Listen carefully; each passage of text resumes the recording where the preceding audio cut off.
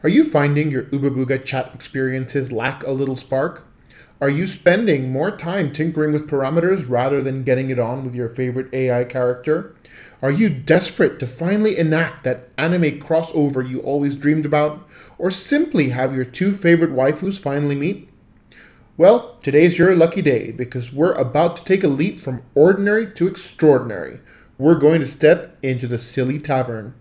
In case you don't know what Silly Tavern is, it's an alternative UI interface for Oobabooga that provides a more detailed and nuanced chat experience with your favorite LLM.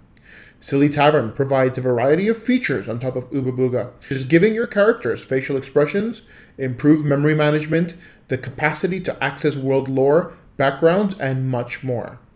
Today's video is just about installing Silly Tavern and connecting it to a self-hosted pod on RunCloud. However, if you're interested in wanting to make the most of Silly Tavern and would like a detailed tutorial on how to use it, please leave a comment in the comment section below. Before we start, don't forget to like and subscribe and click the bell icon to stay updated of new videos. For today's video, I'm going to assume that you already have a RunPod account and have your pod set up from our previous video using the Bloke LLM template. If you haven't done that or don't know how to do that, please check out this video up in the corner and come back when you're done. Go ahead, I'll wait you can just press the pause button. If you've already got your RunPod instance set up, head over to the Silly Tavern website at sillytavernai.com. Once you're here, you can click on install, which will give you three options on how you can best install Silly Tavern. Method one is doing a git install. Method two, a zip install. Or three, you can download their installer. Personally, I found the best success using a git install. So that's the method we're going to use. It's really easy. All you need to do is select the command they've given you over here. Head on over to the folder where you want to install Silly Tavern. Uh, in my case, you know, I'm installing it on my H drive and I've made a new folder for that here. Head over to your address bar and just type in, remove everything and just type in CMD. And that will actually bring up a command console in the folder that you're in. Just head on over here and all you have to do is drop in this command. Now, this command does assume that you have git installed. If you do not have git installed, you can head on over to the git website. Just type in git into Google and you can just go to download and install it. In case you don't know what it is or you're wondering what this is, Git is a version control that programmers use to manage multiple versions of the software that they're writing. Um, it also allows you to connect to GitHub, which is a repository where various programs and pieces of code are kept. If you're not sure if you have Git installed, you can just type in Git and you'll get something that pops up.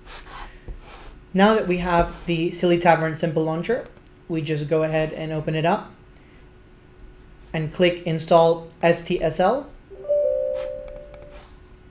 And that will continue installing Silly Tavern on your system. Could take a few moments, so feel free to go grab a cup of coffee, cup of tea, come on back. So after a while, you should see a screen like this, and this means the next step of the installation is done. Even though it says press any key to continue, if you try and do that, nothing really happens. Let's go back to our folder. And now we can try and click Start STSL. And that will give you a new command prompt, which will start loading up and bring you into this screen. And then from here, you click Install Main Branch. And that will actually download and install the rest of Silly Tavern. Once again, could take a few minutes, so if you haven't topped up that coffee, Go ahead and do it now and we'll see you in a few. Great. And after a couple of minutes, you'll see installation successful. Go ahead and click OK. And now you'll finally see launch ST main. We click on that and it will start launching our Silly Tavern.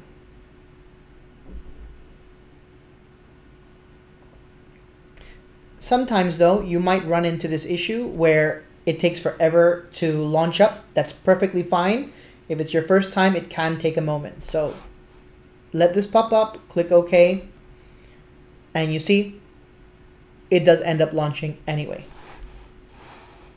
now you'll see the UI for Silly Tavern. Now the first thing we need to do is we need to hook it up to Oobabooga. So we're gonna head over here and go to TextGen. And what will happen is it will automatically fill in the details for a locally hosted Oobabooga, which I am going to run. So I have Oobabooga running and I've got it running with the API flag. So just remember to update the number here. It might not give you 5000, which is the API port for Oobabooga.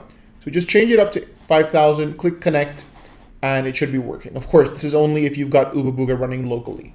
But that's not why you're here. You guys are here because you want to connect Silly Tavern to your cloud hosted Oobabooga. So how do we do that? Well, going back to our pod, we head on over here to connect. And we want to come over here to the TCP port mappings. Now, Silly Tavern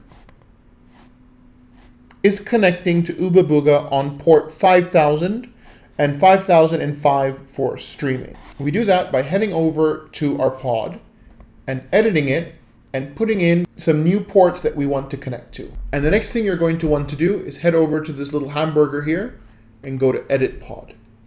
Now, the ports that we need to connect to with Silly Tavern are 5000 and 5005. You might see 5005 here in exposed TCP ports. Just go ahead and delete that. And type it out here in HTTP ports. We want 5000 and 5005. Once that's done, save.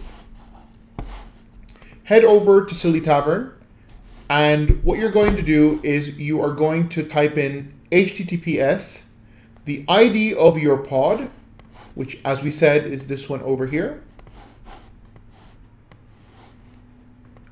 then dash 5000, which in this case is the port we need to connect to, dot proxy dot runpod dot net, and then for the streaming API, uh, API, you just go ahead and copy all of this, and you can drop it down here.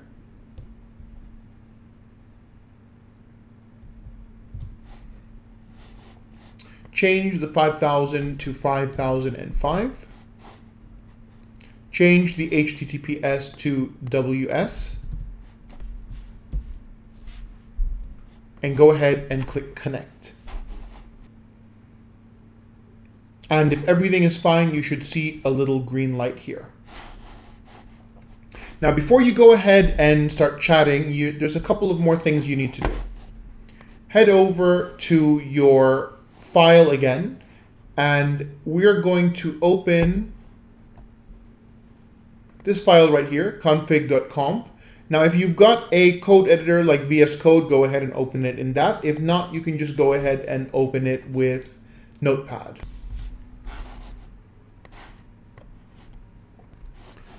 Once in here, what you're going to do is turn whitelist mode to false. In yours, it'll be true. And basic auth mode to true. What this does is this basically allows other URLs to connect to your Silly Tavern. In theory, what we should be able to also do is put in your Oobabooga URL, hosted URL here, and that should work. I've not been able to get it to work yet, so this works for me. Then go ahead here in basic auth author and where it says user and password, go ahead and put in a custom username and password. This is to protect you so that someone else can't hack your system and start using up your run pod time and credits using Silly Tavern. And once that's done, what you're going to do is go over to your PowerShell. Actually, before you do that, try and first close Silly Tavern here and let's do that now. And you'll see a bunch of stuff start to happen here. Press any key to continue and go ahead and just close that. Then go ahead and launch it once again. Now, while that launches, one of the things you need to be aware of, which is a really big annoyance in Silly Tavern, is every time you launch it, it opens up a new window. Now, Silly Tavern doesn't like it when you have more than one tab open with the software, it will start to run into issues. It'll have connection issues. So just make sure you've got everything closed before you launch a new instance of Silly Tavern. See, I got that timed out issue. So I'm just going to head over to my Silly Tavern folder and just manually launch it using start.bat. Make sure you use start.bat and not start.sh. And after a few moments, it will load up. Head back over to Connect.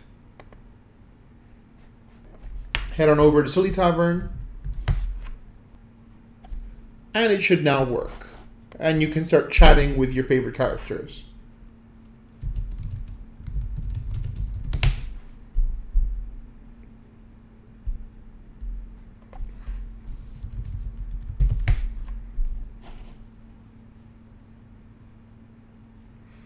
And there we go.